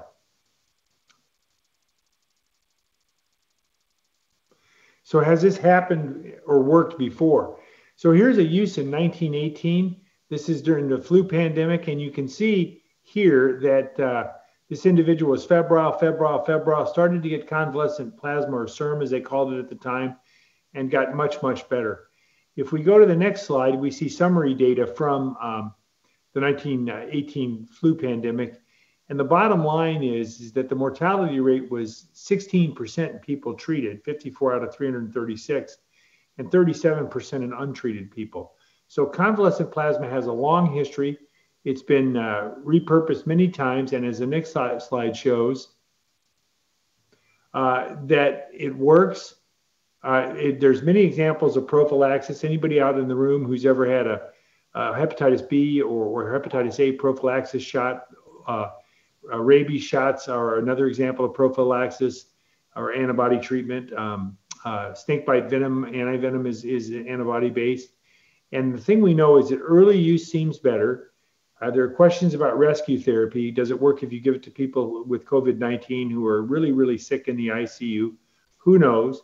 And typically, concentrated what's called hyperimmune globulin pooled products that are sort of the uh, uh, antibody equivalent of distilled products, uh, where, whereas plasma can be seen as the craft brewery, uh, follow uh, convalescent plasma. Next slide, please. So, how did this happen, and how did it happen so quickly? I want to talk to you about my awareness of this. Basically, a friend of mine tweeted an article by another friend of mine that was in the Wall Street Journal. I attempted to raise awareness at Mayo. A network emerged. We engaged with the FDA. We developed the uh, expanded access program. There are randomized clinical trials that are ongoing, and we'll talk a little bit about the results so far. Next slide, please. So this is what happened on February 27th. My good friend Arturo Casadevall uh, published an op-ed how a boy's blood stopped an outbreak. Arturo is a friend of mine. Uh, next slide. I pinged Arturo and he sent me this article. In a threatened outbreak of measles in a prep school, on and on, on the basis of past experience, at least 25% of this group might have been expected to develop measles, and only a couple did uh, in this particular case report. We didn't have randomized clinical trials back in the 1930s, but this was certainly seen as very, very um, convincing. And apparently, the Hill School in Pottstown, Pennsylvania is still open. Next slide. So, awareness was raised at Mayo in early March after I started to interact with Arturo on this topic. Uh, the blood bank at Mayo had done this in the past on a boutique basis for infectious disease, especially in a couple of weird forms of infectious diseases with kids. And they told me immediately it could happen. Uh, and next slide, please. One of the most important things that no one said yes, but no one also said no. This the kibosh could have been put on this many, many times. A network formed around my colleague, Dr. Casadevall Arturo at Hopkins. This includes Liise-anne Pirofski, uh, Nigel Paneth from Michigan State, Jeff Henderson from WashU, who also is a graduate of Mayo High School, and Shmuel Shoham, an infectious disease doctor at, at uh, Hopkins. The Hopkins group was focused on prophylactic use in healthcare workers. In other words, they wanted to give high risk people a shot of, of convalescent plasma to prevent disease. Uh, they had a protocol that was written by middle March, and FDA and IND had been applied for. I repurposed my lab, and uh, all the local ex- experts I identified said yes. And next slide, please. So we began to um, think about a protocol at, at, Mayo, and our protocol was going to focus on treatment of people with moderately severe uh, COVID who were not yet in the ICU. While all this was going on, we began to have dialogue with uh, at, the FDA. Uh, in late um, March, they developed an EIND program for compassionate use. And on 3:30 of, of, of, a couple months ago, they contacted me and said, "Can you review this uh, expanded access protocol that we've developed?" I said yes. The FDA, believe it or not, doesn't have their own IRB, and they said, uh, what do you think about an IRB? So I uh, emailed Dr. Scott Wright, the senior chair of the IRBs at Mayo Clinic, and Scott agreed that Mayo could not only be the IRB, but be a national IRB for the entire project. Next slide, please. Uh, so in late March, again, lots of action nationally. This is the uh, first use of the product in the United States at Houston Methodist. Uh, based on the EIND, Mount Sinai I may have used it at exactly the same time or one hour later. And the national blood banking community uh, started to get mobilized. About 36,000 units of red blood cells are collected every day, plus many, many more units of platelets and other factors. So I knew that the blood banking infrastructure was quite large, and that was my main contribution to this, or at least what stimulated me to pursue this. As a result, if you go to the next slide, on the 1st of April, Mayo IRB approved expanded access protocol, uh, agreed that we would serve as the central IRB, we had concurrent website development, which allowed for site, physician, and patient enrollment. We had a workflow of what people needed to do and, and how we would coordinate this with the blood banks. We had navigator functions and frequently asked questions functions and case report tools. Uh, it rolled out on the 3rd of April. Next slide, please. And this is what it looks like and that's just uh, the title. We've had a couple of updates since then because uh, we've changed the protocol a bit because we we're, we're attempting to build a plane while we're flying it. Next uh, slide. So we have currently about 21 locations, all 50 states and Puerto Rico plus the Pacific Islands. In fact, I just had a text from somebody who is going to be using it either in Fairbanks or Anchorage, Alaska uh, later today. Next slide. So on day zero, we had just a few sites. On day 24, we had a lot more sites, and this is our 2000. Uh, next slide. So what have we learned so far? The United States government and the Mayo Clinic can move fast. Our first problem was there was not enough plasma. That's currently been addressed, and we, we no longer have uh, supplies meeting demand, although demand may be increasing. Uh, the early safety data, which we published, uh, or at least posted on a preprint uh, server yesterday with 5,000 patients, suggests no major risk of plasma administration. We have incredible anecdotes. We're building out exposure case control analysis. There are other uh, randomized uh, control trials, but I will predict that the preprint world will buzz soon with efficacy data, and that will drive demand. Uh, next slide, please. So this is our 5,000 patients, cast 1,000. We posted this, uh, got, got posted yesterday. Next slide. And the results are straightforward. The incidence of serious adverse events in the first four hours after transfusion was 1% including a mortality rate of, of uh, three in a thousand. Of the 36 reported uh, serious adverse events, there were 25 reported incidents of related serious adverse events. These included mortality for transfusion associated circulatory overload, transfusion related acute lung injury, and severe allergic transfusion reactions. But only two of these serious adverse events were judged as definitely related to convalescent plasma uh, by the treating physician. So seven day mortality rate was 14.9%. Who knows what to make of this, but 18% of these people had um, multi organ failure and about uh, 15% were septic. So uh, we were doing very, very well there. Uh, certainly, the mortality rate is not alarming, and um, these uh, incidents of, of, of TACO and TRALI are quite low in the sense that it's also very, very difficult to make this diagnosis uh, in, in, patients who are uh, in the intensive care unit. Next slide, please. So as of uh, this morning, we had 11,000 patients treated in, in about one month. The infrastructure and compliance framework took seven to 10 days to develop before the first patient was treated. Uh, we anticipate increased demand in the coming weeks and months, and uh, demand will also increase so a defined product uh, can be made. So there's going to be people wanting to get more plasma to treat patients now, and people to get more plasma to make a so-called hyperimmune globulin. Next slide, please. So here's a case from our colleague Bill Hartman, who used to be at Mayo now at University of Wisconsin. Good story. We had a relatively healthy 50-year-old guy on 60 liters of oxygen. That's a lot, um, an awful lot. Uh, they wanted to give him convalescent plasma, but he was delirious, so his brother was the, uh, the, the person who could say yes, and wanted, he wanted to think about it, the brother. So they had to intubate the guy and send him to the ICU. The brother then gave the okay we transfused uh, and he was extubated 24 hours later. That's quite fast. And it's been weaned down to room air. We won on this guy. So we get a lot of examples like this. We get very few negative examples. We're building out the uh, analytics tools to look at efficacy. We know safety is good, so that gives us all cause for optimism. Next slide, please. But we are optimistic, but are we absolutely sure it's going to work? No. And that's why we're waiting for uh, case control studies and randomized clinical trials to be completed. Thank you very much. It's amazing what, what looking back in history can teach us. Thank you so much, uh, Dr. Joyner. Thank and you. for everybody, please be sure to check out the National Convalescent Plasma Therapy website, linked in the video description below for more information. And with that, I'll close the second session for today. Thank you to all the teams who have presented.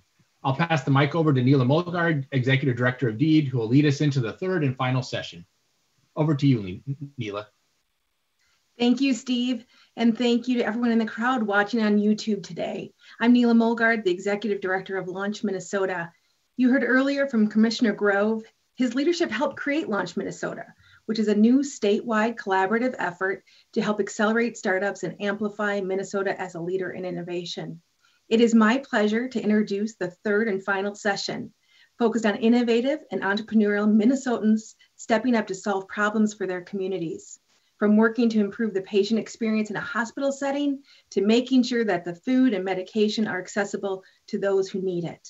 The first presenter for this session is Dr. Brian Crone from safedistance.org, who will be, tell us about his team's interesting approach to empowering individuals in their communities to know their exposure risk and make the best decisions for their safety. I'd like to remind Q Rounds that they're up after this presentation. In the meantime, take it away, Brian. Hi, thank you, Neela. Uh, my name is Brian Crone, and our project is Safe Distance. Uh, Safe Distance uses the neighborhood approach to detect, predict, and prevent the spread of COVID. Now, we all know that uh, symptom tracking and social distancing are currently our best tools to reduce the impact of COVID. Um, and we also know that there are uh, lots of different ways to implement symptom tracking and social distancing. And there are also some trade offs between the different approaches. Uh, for instance, we can track um, uh, cases, uh, official cases on the state and national levels, um, but that doesn't isn't particularly effective. But it does protect privacy. On the other hand, we can track cases at the individual level, usually through government uh, mandates and surveillance, but that brings up some pretty serious privacy concerns.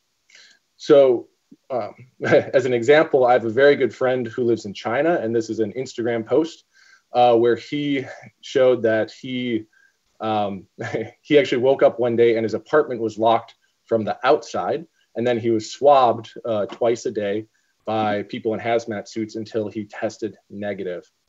Um, this is definitely a highly effective method, but it's not something we'll likely implement here in the US. So our approach we call the neighborhood approach, uh, which we think is a more democratic uh, solution to these authoritarian tracking systems. So how it works is we focus on detection, prediction, and prevention, all while doing it anonymously. Uh, to detect, we ask users to fill out an anonymous health survey. That data is then aggregated to the neighborhood level. And a neighborhood level is technically a census block group or about a thousand people. You can see here, this is real crowdsourced data where the red uh, shows users who are reporting confirmed cases. Orange reports are users who are reporting symptoms and yellow are people who have been exposed or think they've been exposed to COVID. Again, we uh, maintain privacy, and so we don't track individual user paths, but we can tell when one user moves from one neighborhood to another. For example, this user, highlighted in yellow, has reported that they have symptoms, and yet they're moving around the Twin Cities quite a bit. Um, so tracking users and their movement from neighborhood to neighborhood can help us predict uh, where COVID will spread next. If we zoom out to the state level, our crowdsourced data could help identify hotspots where symptoms are being reported, but official cases aren't confirmed yet. Um, for instance, these areas in northern Minnesota um, are potential hotspots. Uh, for prevention, uh, we make it as useful uh, to the user as possible. So we include a personalized risk assessment as well as social distancing recommendations uh, based on the user's health survey.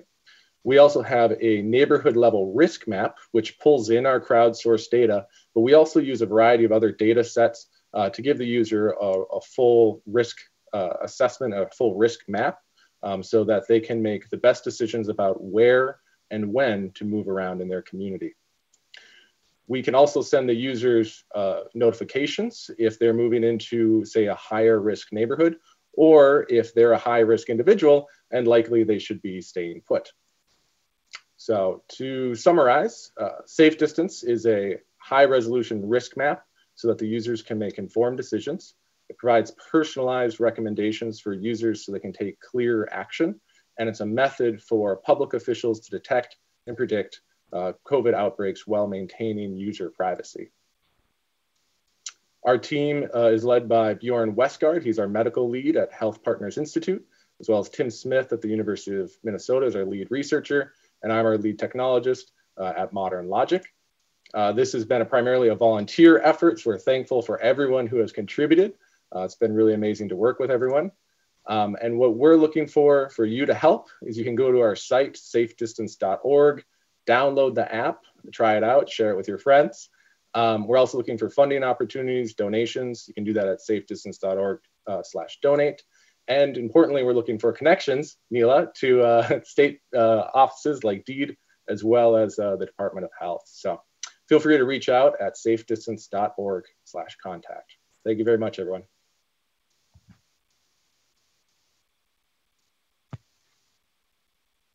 Thank you. Thank you, Brian. The solution seems like it will really allow us to find a good balance between the safety and the privacy, and that's super exciting. As hospitals visits are becoming more and more a reality for our families all over Minnesota and around the world, Dr. Michael Pitt and his colleague, Dr. John Sartori, are striving to reimagine the patient experience, starting with hospital wait times. They've called this their innovation solution Q rounds. Let's hear more about it. I'd like to remind Roundtable RX that they are up next. Go ahead, Dr. Pitt. Hi, thanks for having me.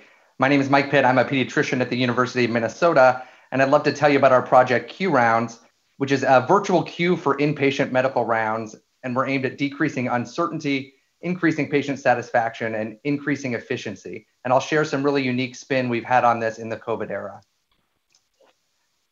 Go back one slide. So if anybody has been in the hospital or has been a, a loved one of someone in the hospital, you know full well that a hospital room is a waiting room. So you might be in there for 24 hours, but often you're waiting 23 hours and 50 minutes for the next time that your team of doctors is there for rounds. Um, that can be a frustrating experience. It can be an anxiety provoking experience. And that's true for all the stakeholders in the hospital system. So patients tell us that when their family members in the hospital, they feel powerless and their main connection is to understanding uh, what's going on is during that rounds. Well, as you know, COVID has caused visitor restrictions that are making that even harder for patients to connect. Families have to surrender their entire days, whether they can go to the bathroom, have a, a, a cup of coffee, attend a work meeting, trying to latch onto the team from doctors during that time for rounds. This is true for nurses too, who have multiple patients with multiple teams rounding on them and can't plan their days to be effective without knowing when to expect the team of doctors. In fact, nurses tell us the most common question they are asked during the day by patients is when will my doctor be here for rounds? And that's a question we as doctors very rarely empower them to answer well. And as a provider, when I arrive to the room, it's not uncommon for the family to not be there or for the patient to be at a procedure. And I know that creates more work for me later to catch up. Certainly, COVID visitor restrictions have made that even more challenging when the family may not be allowed to be in the room. So at Q Rounds, we believe time is power. And in order for time to be power, we have to provide time transparency to empower patients and providers with real time connections to inpatient rounds. So we do this pretty simply. We provide real time text updates on when to expect your provider for rounds. So when you go to do a return at IKEA, you take a number, you know when it's your turn. When you go to the deli, you know it's in your turn. Meanwhile, you're held hostage in a hospital room. We want to empower you with when to expect your team. So you can see here a text, your doctors have started rounding. You're scheduled to be seen third. They should arrive between 9:50 and 10:20. Click here to invite others to receive updates on when rounds will be uh, will start, and click here to invite them to a video link for when rounds begin. So now during the COVID era, when families are not able to be at the bedside often for their patients, they can join rounds virtually with a click of a button notified that rounds have started and join. In fact, our first pilot uh, go live this week. Uh, the first patient to use this was a family living in Duluth, 175 miles away, joining their doctors and their baby in the NICU uh, uh, and an incubator in the NICU. The medical student who'd been working from home because they're not allowed to be back in the hospital was able to be there with the family as well as the medical team with one click. This is what our suite looks like, and we're working on uh, continuing to add uh, uh, uh capabilities to kind of simplify both the nurses, uh, interpreters, uh, families, and, and their loved ones for being able to be on rounds and know when to expect that team in real time. Our customer is the hospital, so we know that 91% of hospital systems use patient rounding technology, but none of these systems provide real updates on the timing of rounds. And that's what we aim to do with Q rounds is that time transparency. So far, we've done this all with grant support. What we're looking for is $50,000 would allow us to expand the ability to do this in Minnesota, getting more families connected instantly to their uh, uh, patients during rounds in real time. We're in the pilot testing stage. Like I said, we started this with a, rapid response grant at, at, the Masonic this last week and are uh, looking to roll out across Fairview over the next few weeks. Um, I'm Mike Pitt. I'm the founder and CEO of this project, and my colleague John Sartori is our Chief Technical Officer, and we thank you for the time. Thank you, Michael. It sounds like the solution has real potential to improve the patient experience. Um, speaking of patient experience, as social distancing and COVID 19 exposure continues to make it harder and harder to get medication to at risk patients, Dr. Rowan Mahone and her nonprofit organization, Roundtable RX, are working to form the first medicinal repository. Let's hear more about her mission but first, a quick reminder to Sprout MN, you're up next. Take it away, Rowan. Hi, everyone. I'm Rowan Mann. I am a pharmacist and a founder of Roundtable RX, Minnesota's medication matchmaker.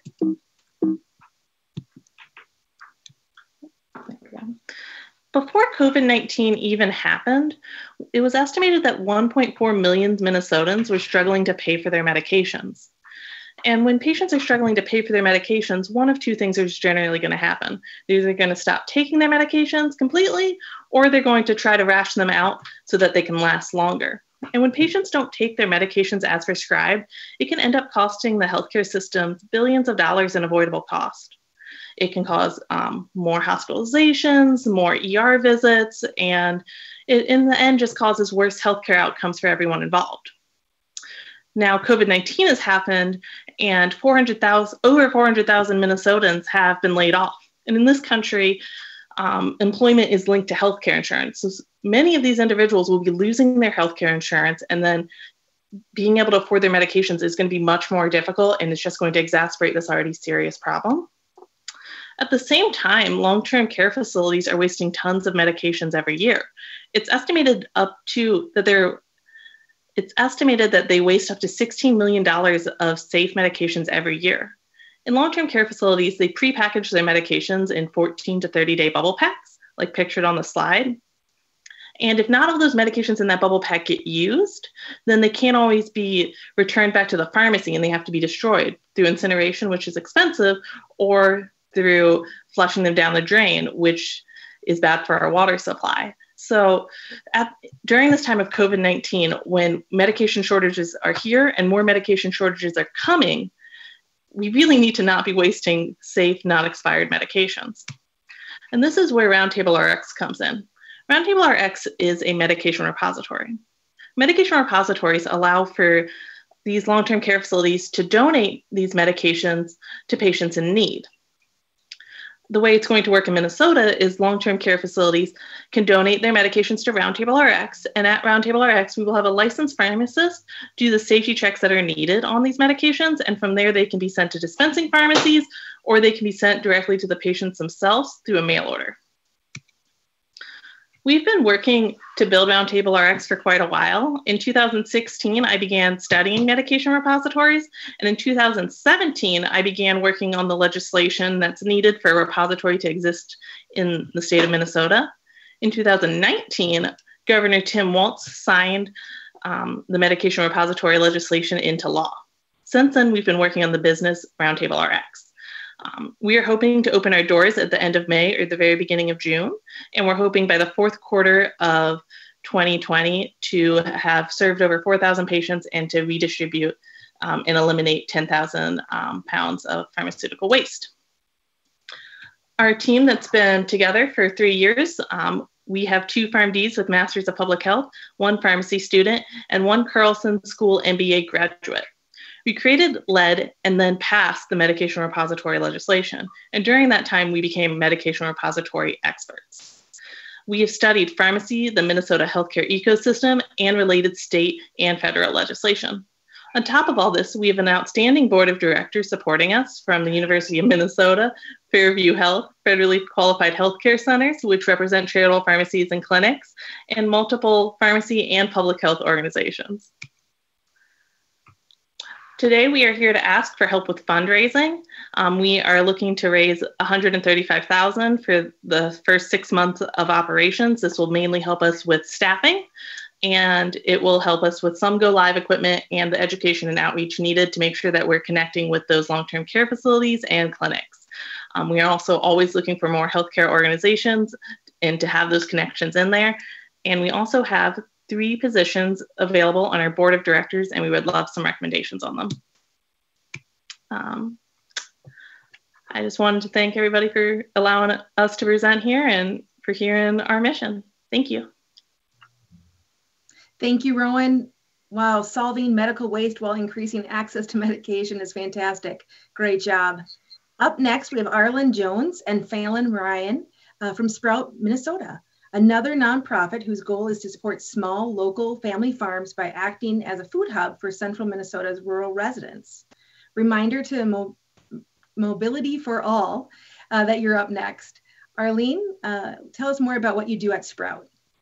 Well, hello, everybody. This has been absolutely fascinating. Um, and I'm incredibly um, just humbled by what's going on out there. I'm Arlene Jones, the executive director of a nonprofit food hub in Little Falls, whose work is to move local foods from the field um, to the plate. And I'm Fallon Ryan. I am the engagement coordinator for Sprout. So, in the go back one slide, Fallon, please. Oh, yep. Can we go back a slide, please? All right. There we go. Thank you. The COVID 19 challenge for a food hub is that we are addressing uh, food insecurity in rural Minnesota with a significant aging population who also face additional barriers of being homebound and or a lack of transportation. In the face of this global pandemic, growers are also continuing to experience the uncertainty of markets returning and this is exacerbated by the general public's willingness to risk exposure. And I expect we'll see a lot of this happening uh, this year at farmers markets and other places where the general public is um, not willing to gather. Our five county area demographics include 37% of our total population over the age of 55. During this pandemic, we've seen an exponential increase in those that are becoming more food insecure, with an inability to leave their homes due to underlying health conditions or out of fear for their own safety as the population who is the most at risk and vulnerable to recovery. Food access is a key determinant of health and a basic necessity. Sprout staff are dedicated to the founding mission, which you can see on the slide. And during our seven years of operation, we have not wavered from this. Oh, see. Sprout is working on creating innovative programs that provide our citizens both food security and impact the bottom line of our small family farms, keeping our growers on their land and in food production while nutritionally supporting our vulnerable populations. Together, farmers, food justice activists, public health, food banks, community mental health are all part of the dedicated teams that form the community of Sprout. Sprout is equipped with a mobile grocery store on wheels with refriger- refrigeration and grocery or refrigeration and freezer capacity and ready to be stocked with locally grown and nutritious fruits, vegetables, dairy, and meats, while pivoting to home delivery, a home delivery service during a pandemic crisis. This is an innovative twist to move the dial and access to nutrition with integrated community support systems while maintaining personal and community safety standards. There is also value in understanding the unique ability of small food to be nimble and adapt to unforeseen and unprecedented crisis. Oh, I apparently have lost the slide for our team. Um, so you ask why now and why here and how are we going to make this happen? Sprout is led by a dedicated team of food justice activists that are dedicated to moving food from the fields to our most vulnerable populations. Um, we are working with, like we said, community mental health practitioners, long term care facilities, and other community activists to uh, develop a very innovative model to move food through our systems uh, through this innovative CSA model and into uh, the homes of our long-term care, assisted living, and homebound um, residents uh, through our mobile market, which typically goes out and sets up mobile markets in food deserts or with low access. And what we are looking to do is actually change that model to keep our vulnerable elderly residents safe and to still provide them with food access.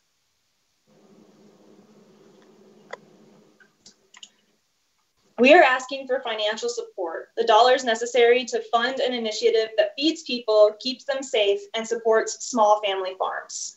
How do we know we will be effective? We have human resources, skilled staff, strong community partnerships, and experience. We have established infrastructure, a licensed facility, and delivery capability. And we have a long standing history of success.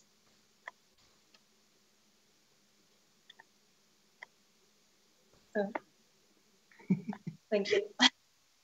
We're asking for your donations as a nonprofit to follow the link and provide the support needed for this project financially. We're asking you to share it with your networks and your partnerships. Please reach out to Fallon or I at the email addresses listed below. We want to thank you for your time and consideration. We want you to remember that food is medicine in this lovely afternoon of how people are just going above and beyond to address this incredible um, world that we're living in. And remember that your donation is tax deductible. And above all else, we want you to buy from your local farmer, support your small family farms, be well, and stay safe. Thank you, Sprout Minnesota, for all you're doing in our community. Make sure to reach out to them if you're interested in finding out more. All contact information can be found in the video descriptions below. To close out the session, I'm happy to welcome Mobility for All, a personalized ride service for at-risk and underserved populations throughout Minneapolis. John Doan and his team have been making great progress over the last year, and we can't wait to see all the big things that they have in store for us. Take it away, John. Thank you, Neela. And hi, all. Did you know that social isolation is like smoking 15 cigarettes a day? So, over the last two months of social distancing, I'm guessing that we've all smoked at least a dozen cartons of cigarettes. Well, prior to COVID, senior social isolation was our grand challenge. I'm John Doan, co founder and CEO of Mobility for All, or MO for short. We are the personalized ride service for seniors. We empower seniors to live independently and more full lives. Our B2B strategy targets long term care facilities as our customers. We currently have 22 senior communities in the Twin Cities uh, that we work with. They represent, along with the over uh, 50,000 senior communities in the United States, a $5 billion total addressable market that is woefully underserved. When COVID hit Minnesota, we knew it was bad news. The worst news that a CEO can get is that nearly 80% of the COVID deaths are hitting their customers.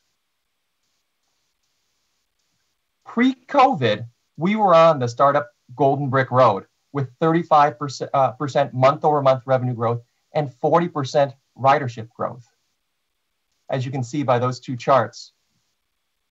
In March, our daily ridership fell by 60%. Before we were on that path to profitability, because at 2,000 rides, which is our magic number, our break even point uh, for revenue and for rides, we were going to hit that in July of this year. Not only was COVID hurting our customers, it th- it's threatening our economy and our business. So, what does one do? We pivoted and doubled down on our B2B relationships with senior living communities because long term, that demand is strong and near term, they need our help. We continue to provide essential medical rides and added food and prescription deliveries. In April, we did over 217 grocery and prescription orders, 35 supply runs for Meals on Wheels, and 295 food shelf box deliveries for seniors in need. Without even counting these deliveries, our social return on investment is 164%, as assessed by a third party evaluator. We plan to expand to Rochester later this year and then to two new national markets next year. Plus, we're partnering with Lyft on a three year government contract for paratransit in the Twin Cities. We have a diverse and seasoned leadership team.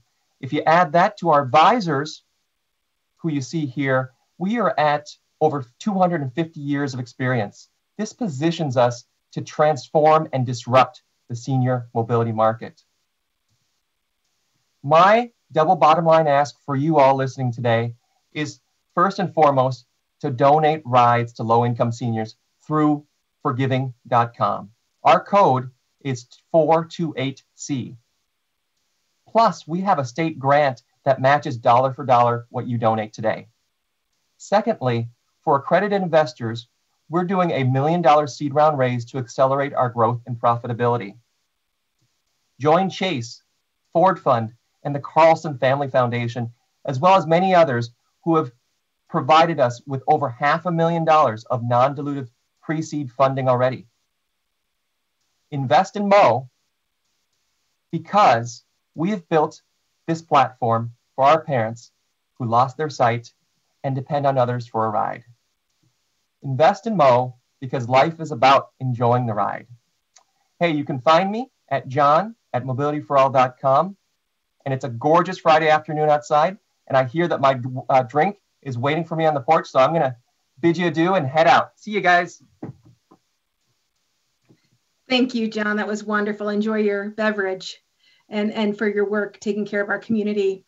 Um, it's been fantastic to see how your team is succeeding. And with that, I'd like to close out our last session. It's been an honor moderating this session, and I hope you all enjoyed our time together learning from our inspiring innovators today. Mary, it's, it's uh, I'm passing it off to you. It's all yours. Yep, Steve and I will close it the last one minute here. Thank you everybody for joining us. Thank you, Steve, Neela, uh, Rockstar Laura, Rockstar Stefan. Um, it's been fun. You guys are amazing, and I'm proud to be from Minnesota. S Steve? Next slide, Laura. Uh, just, uh, a quick um, uh, commercial here for the uh, uh, Minnesota Venture Builder Program. These programs are free and they're often open to entrepreneurs across the state. Um, feel free to go to the Carlson School uh, link here under more info to sign up. And you'll learn about the value proposition, product market fit, and collecting uh, information on customers. Um, it's a really powerful class and uh, series of classes, and I've been through them all. So great to see those classes rolling out.